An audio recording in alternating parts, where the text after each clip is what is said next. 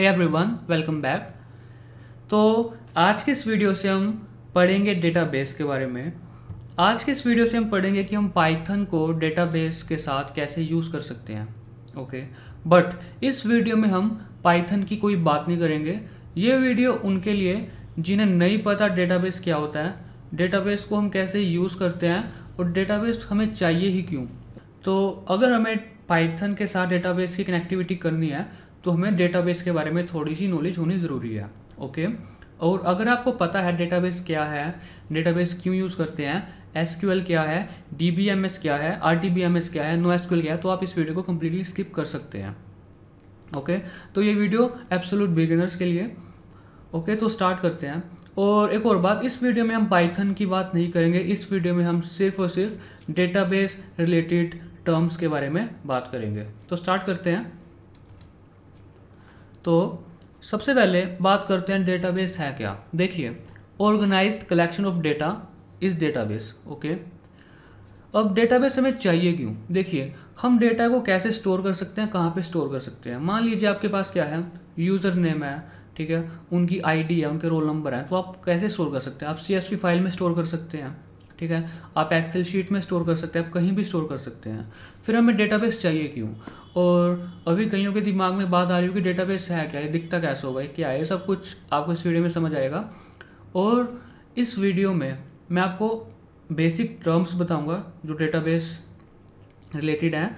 और डेटाबेस का एक कंप्लीट कोर्स बन सकता है पंद्रह या बीस घंटे का। पंद्रह बीस घंटे का कंप्लीट कोर्स बन सकता है। और उससे भी बड़ा बन सकता है चालीस पचास घंटे का।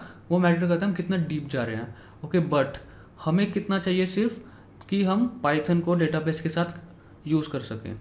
ओके ओके तो स्टार्ट करते हैं। तो अब एक्सेल में या सी फ़ाइल में हम अपने डेटा को स्टोर कर तो लेंगे बट वो use massive amount of data को हैंडल नहीं कर पाएगा, बिल्कुल नहीं कर पाएगा। फॉर एग्ज़ाम्पल अब देखते हैं डेटाबेस यूज़ कहाँ कहाँ पे होता है। देखिए डेटाबेस किसी भी वेबसाइट किसी भी बैंक कहीं पे भी जहाँ पे डेटा यूज़ हो रहा है, वहाँ पे डेटाबेस यूज़ होता है। फॉर एग्जांपल आप फेसबुक पे साइन अप करते हैं। ठीक है? First name surname mobile name new password ये सब कुछ कहाँ पे स्टोर होता है? ये सब कुछ स्टोर होता है डेटाबेस में ओके अब डेटाबेस भी के भी टाइप्स होते हैं, उसके बारे में बाद में बात करेंगे।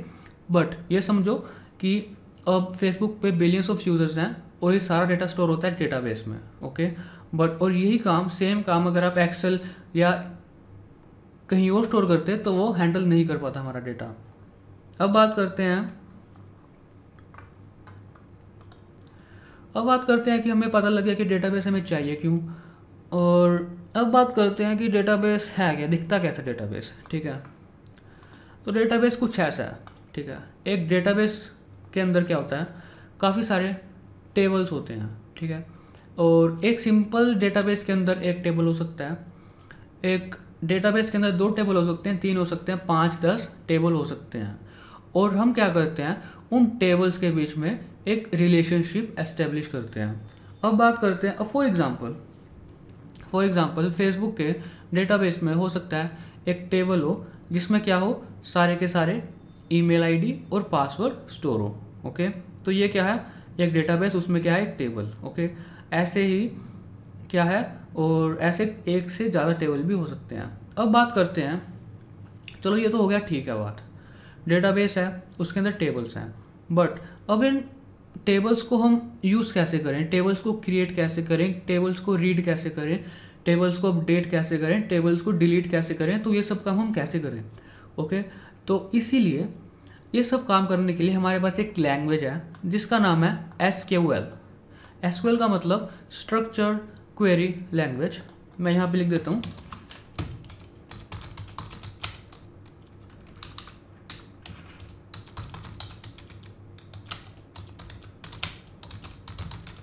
ओके तो हमारे पास एक डेटाबेस है और अगर हम उस डेटाबेस के अंदर हमें टेबल क्रिएट करने हैं फॉर एग्जांपल तो हमें क्या करेंगे? स्ट्रक्चर क्वेरी लैंग्वेज यूज़ करेंगे।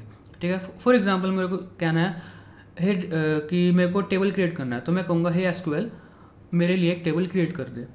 है, एसक्यूएल, अब इस टेबल के अंदर एक रो ऐड करनी है कॉलम रो ऐड करनी है डेटा इंसर्ट करना है तो ये सब काम हम कैसे करेंगे? एसक्यूएल को यूज़ करके। तो अब क्या है? एसक्यूएल क्या है? एसक्यूएल एक लैंग्वेज है हमारे डेटाबेस से बात करने के लिए। ओके अब बात करते हैं डी बी एम एस क्या है? और फिर हम बात करेंगे एस और माई एस में डिफरेंस क्या है। अगर आपको पता लगे डी बी एम एस क्या है, ठीक है? डी बी एम एस का मतलब होता है डेटाबेस मैनेजमेंट सिस्टम ठीक है? तुम्हारे पास बहुत सारे डेटाबेस मैनेजमेंट सिस्टम है, ठीक है? जो हमारे डेटाबेस को मैनेज करते हैं, ठीक है? अब डेटाबेस मैनेजमेंट सिस्टम के एग्ज़ाम्पल हैं माई एसक्यूएल ये एक डेटाबेस मैनेजमेंट सिस्टम का एग्ज़ाम्पल है। हमारे पास एक और एग्ज़ाम्पल है पोस्ट क्रेस पोस्ट एसक्यूएल एक और एग्ज़ाम्पल है ओरेकल डेटाबेस एक और एग्ज़ाम्पल है एसक्यूलाइट ठीक है तो ये सब क्या है? डेटाबेस मैनेजमेंट सिस्टम्स ओके अब बात आती है कि ये माई एसक्यूएल में पोस्ट क्रेस में ओरेकल में एसक्यूलाइट में डिफरेंस क्या है? देखिए, अब बात करते हैं डिफरेंस क्या क्या इनमें जो लैंग्वेज यूज़ होगी वो अलग होगी? देखिए एसक्यूएल में एसक्यूएल की सिंटैक्स में बिल्कुल स्लाइट डिफरेंस है, बिल्कुल स्लाइट ठीक है, इसका मतलब अगर आपको माइस्क्यूएल के साथ काम करना आ गया तो आप पोस्टग्रेस के साथ आसानी से काम कर सकते हैं। अगर आपको पोस्टग्रेस के साथ काम करना आ गया तो आप माइस्क्यूएल के साथ आसानी से काम कर सकते हैं ठीक है? तो एक डेटाबेस को सीख के आप किसी पे भी स्विच कर सकते हैं नो प्रॉब्लम उसके बाद अब बात करते हैं कि डी बी एम एस तो डी बी एम एस का एग्ज़ाम्पल क्या है? ठीक है डी बी एम एस का एग्ज़ाम्पल है जैसे मैंने माई बताया पोस्टग्रेस बताया एसक्यूलेट बताया। ओके okay, तो अब आपको कंफ्यूज नहीं होना एसक्यूएल क्या है और माई क्या है। माई क्या है? डेटाबेस मैनेजमेंट सिस्टम और एसक्यूएल क्या है? एसक्यूएल एक लैंग्वेज है अपने डेटाबेस से बात करने के लिए ओके तो ये, इसको हटाता हूँ मैं यहाँ से तो अभी आपको कई लोग कन्फ्यूज़ होते हैं एसक्यूएल और माई सेम सेम समझते हैं सेम नहीं है ओके ओके अब बात करते हैं कि फिर डिफरेंस क्या है? माई में पोस्टग्रेस में ओरेकल में डिफरेंस क्या है? देखिए, मैंने आपको बताया एसक्यूएल स्ट्रक्चर क्वेरी लैंग्वेज में तो बिल्कुल स्लाइट डिफरेंस है। आप एक सीखिए आप फिर किसी में भी काम कर सकते हैं। तो डिफरेंस कहाँ पे? डिफरेंस है जो ये फीचर्स प्रोवाइड करते हैं। माई स्क्वेल जो फीचर्स प्रोवाइड करता है पोस्ट जो फीचर्स प्रोवाइड करता है ओके और उसमें भी आपको ज़्यादा हेडेक लेने की ज़रूरत नहीं है, ठीक है? और आप कोई भी एक सीखिए, आप आसानी से दूसरे पे काम कर सकते हैं। उसके बाद यहाँ पे देखिए, अब हमारे पास क्या है? देखिए पाइथन के साथ हम किस किस की कनेक्टिविटी कर सकते हैं?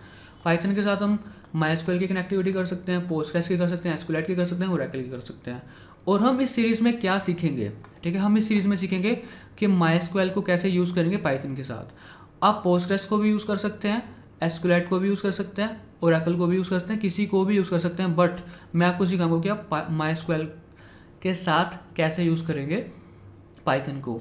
और जो मैं यूज़ करता हूँ, या तो मैं माई यूज़ कर सकता हूँ, या मैं पोस्ट यूज़ करता हूँ, ये दो मोस्ट कॉमन यूज़ करता हूँ। अगर मुझे किसी वेबसाइट पे बनानी है या वेबसाइट पे कुछ काम करना है तो मैं नाइन्टी परसेंट यूज़ करता हूँ पोस्ट ओके बट दोनों में कुछ ज़्यादा डिफरेंस नहीं है। फीचर्स में थोड़ा डिफरेंस है बट मैं आजकल प्रेफर करता हूँ पोस्ट वेबसाइट्स के लिए, और आप कोई भी यूज़ कर सकते हैं। और इस सीरीज़ में हम सीखेंगे माई के साथ कैसे काम करेंगे ओके और एसक्यूलाइट हम तब यूज़ करते हैं टेस्टिंग के लिए और या फिर तब जब हमारा डेटाबेस हमारी डिस्क में ही एग्जिस्ट करता हो और स्मॉल या मीडियम साइज़ एप्लीकेशन के लिए हम यूज़ करते हैं। और मैंने कभी यूज़ नहीं किया आज तक ओके ओके